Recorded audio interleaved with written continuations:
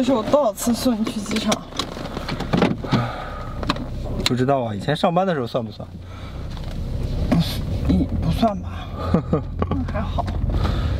今天要动身去深圳了，在去深圳之前啊，照例呢是吧，吃个送行饭，但是呢，这个饭不是白吃的，嗯，我我们请他啊。嗯，对，今天是我们请人家。啊，因为姑姑帮人干活，再请人吃点饭。对，在走之前是下午的航班，然后上午呢要去他家帮忙。之前 其实对，之前其实多多少少有提到过，就是，呃，他表妹，田雪的表妹在这边买了套房子，然后呢就他一个人张罗那。以后就是我们第二个家，天呐，你别去，再也不想去。没有一次不干活的。老让干活，老让干活。我去到那边刚，才他说，刚刚他说、嗯那个窗帘那个挂钩少了几个，嗯然后说啊，那一会儿等姐夫来了，让姐夫踹一下。天呐，只有姐夫才是真正的干活能手。印象很深，就是他们第一次开火，然后我们抱着红包去了。我去了第一件事情，先给人刷马桶人家挂。窗帘、刷马桶，还得给人拿钱，哎然后吃了点饭，匆匆忙忙就走了。那有一些人就是这种哈、就是就是让让让旁人会看着他好像干什么都不行，对对然后就就都是想上手给他干，但实际上久而久之他就不会干了。对，但实际上要是要是真的是长期生活在一起的话，好好训练训练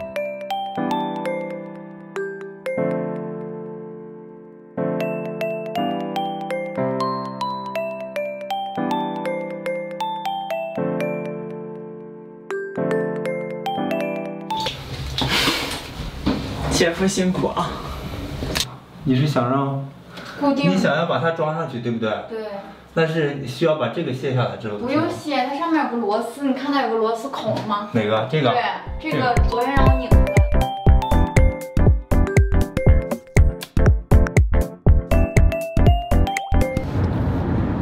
不知道在镜头中能不能看得出来这个大气环境，就是大环境，大环境，就是有点雾蒙蒙的。然后，呃，因为陆续已经开始上水供暖，供准备供暖，还没有到供暖，因为现在都还穿短袖。会是啊，对，然后天气已经明显的秋意，这就是哈尔滨的这个气候，四季分明。然后秋天其实很短了，对，就很快就会进他。他有可能今天让你穿短袖，明天你就得穿棉袄。然后我说我想说就是从此以后就是雾霾天儿就会一直伴随我们，一直伴随我们，一直到明年。所以我们就是夏天的时候疯狂出去玩儿啊，是因为空气好难得。这这玩儿还需要理由吗？冬天你去看看谁会在外边待着，好吧，最近几天我就不会在家里了不会有我。出现了。嗯，去深圳，去深圳，据说那边有个包展，然后大家如果有兴趣的话，可以关注一下我的朋友圈。如果到时候在包展上有好的包，我自己比较推荐的包，我会拍照，然后在我的朋友圈里面，呃，广而告之。嗯。给我撒么两个。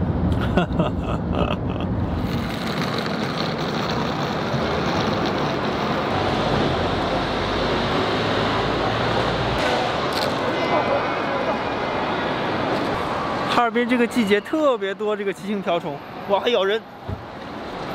走了走了，进去了。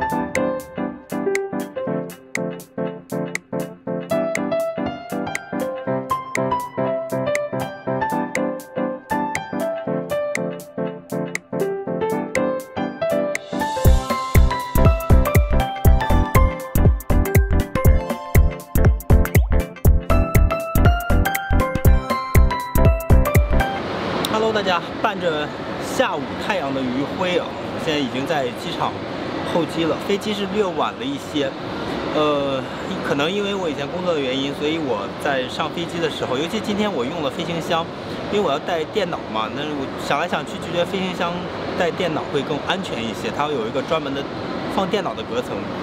呃，然后我我会想着说给乘务员啊，给机组带一些好吃的，像上次从深圳回来的时候，我会带当地的一个就港茶店出的蛋挞会不错，然后像奶茶呀这类的。这次要走，我就想着买点老鼎丰的冰棍儿啊，在机场的话，我想着在市区我们知道的一些店可能就两块钱一根儿，然后在这边可能贵一点五块钱吧。没想到，首先是没有老鼎丰的冰棍儿，然后呢，就是一些马迭尔的就贵到离谱，二十五块钱、二十块钱，然后还有一些冰棒那一类的，就是冰块儿那种的，就是甜的冰块儿，老冰棍儿那样，很小一点就要十块、十五块，哎呦，实在是下不去手啊。本来想着买点儿当季的水果，因为现在这个这个季节的葡萄特别好吃，特别甜，所以。还是邀请大家来哈尔滨啊！来了之后呢，在当地尝一尝一些我们啊当地大家会吃的东西，或者会吃的零食。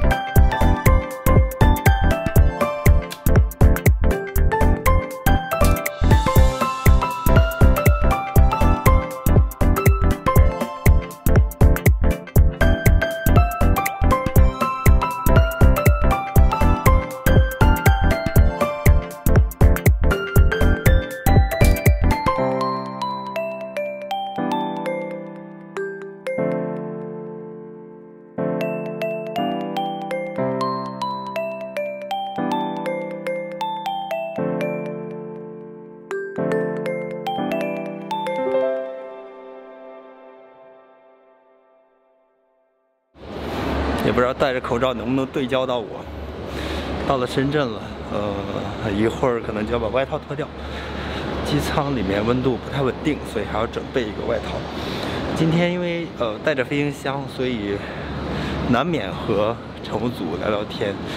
其实看他们工作真的非常感慨啊，有的时候有一些年纪之后，哎，再结合当下的事情，回忆以前的事情，还真的。终于明白了很多人口中所所说的那种感慨是什么。呃，乘务组真的很辛苦啊。呃，会有一些就是可能没那么懂的旅客，不经常乘飞机的旅客，或者他们经常乘但是从来不会注意的那样的旅客。呃，在起飞下降的时候站立，然后也有一位像带宝宝不方便，然后乘务组忙前忙后，包括。我看到的还有一位旅客，因为带胰岛素了，想要呃冰冻起来，冷冻冷冷冷冻还是冷藏啊？以前我也有遇到过，提供一些冰块，自己拿好就好了。听起来好像都不是特别大的事情，但是当所有的事情压在一起，然后承载在这几个小姑娘身上的时候，就是作为一个作为一个男生，作为一个男士啊，就觉得。他们真的挺不容易的。我跟乘务长聊到，我说，以前，以前我飞乘务长的时候，你比如说飞了四段，大家都很辛苦了，然后呢，都特别特别累了，然后快要回去的时候，因为天气原因或者其他原因被降到哪里哪里，飞行时间超长，特别特别累的时候，哎，真的是那个时候男乘务长就就还是有一些优势的，至少最后还有那么一些体力能够。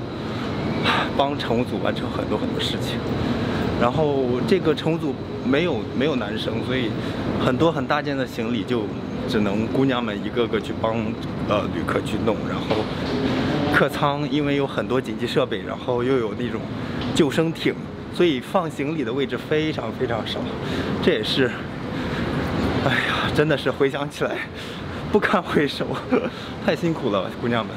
最近几天算是开会啊，和老板碰碰面。